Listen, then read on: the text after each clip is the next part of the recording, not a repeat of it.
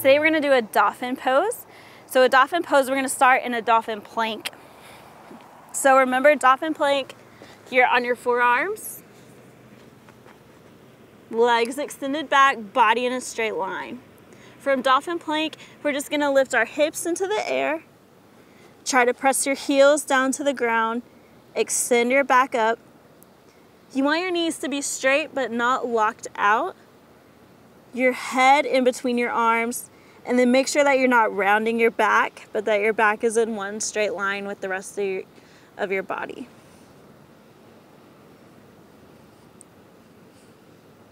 To come out of this, you can just come shift your weight forward back to a dolphin plank or back to a dolphin.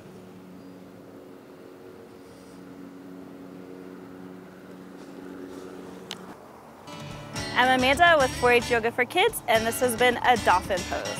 Hi, I'm Morley, an Oklahoma 4-H'er.